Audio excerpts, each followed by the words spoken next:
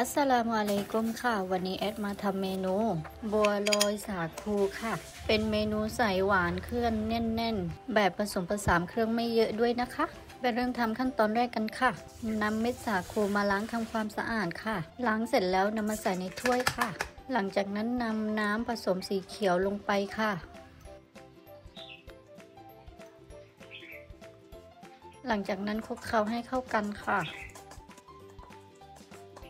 จากที่สีเข้ากันดีแล้ว เรามาใส่ในถ้วยอีกชามค่ะ เพื่อที่จะนวดค่ะ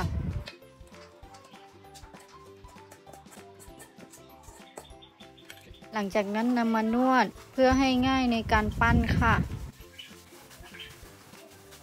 นวดเสร็จแล้วนำไปพักไว้ก่อนค่ะ จากนั้นใส่น้ำลงไปในถ้วยค่ะ หลังจากนั้นนำเม็ดสาคูลงไปแช่ แช่ทิ้งไว้ประมาณ 20 นาทีนะคะ กรองเสร็จแล้วเอาน้ำออกค่ะ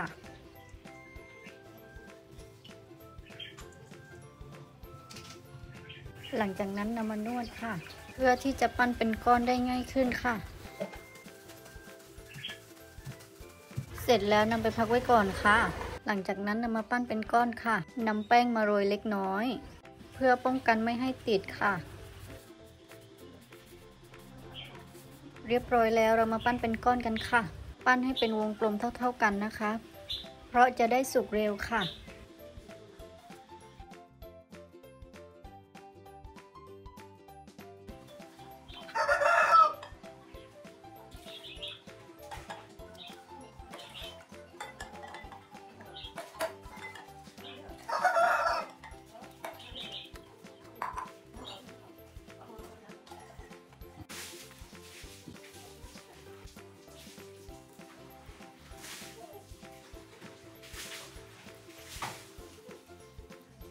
จากนั้นเรามาเริ่มต้นกันเลย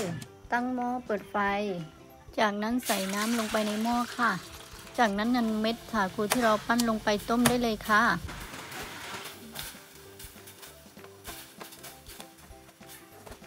ต้มไปเรื่อยๆเลยนะคะ สังเกตได้เลยว่าสีจะชัดขึ้น สีของเม็ดสาคูจะชัดขึ้นค่ะ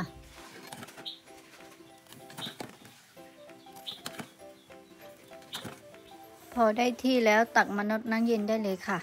เพื่อให้หายร้อนได้เร็วขึ้นค่ะบัวลอยจะขาดไม่ได้เลยคือน้ำกะทิ เราไปเริ่มทำกันค่ะ ตั้งหม้อเปิดไฟ ใส่น้ำกะทิลงไปในหม้อได้เลยค่ะ รอให้เดือดเล็กน้อย จากนั้นใส่น้ำตาลลงไปค่ะ ตามด้วยเกลือ หลังจากนั้นคนส่วนผสมให้เข้ากันดีค่ะ จากนั้นใส่ใบเตยลงไปเพื่อความกลิ่นหอม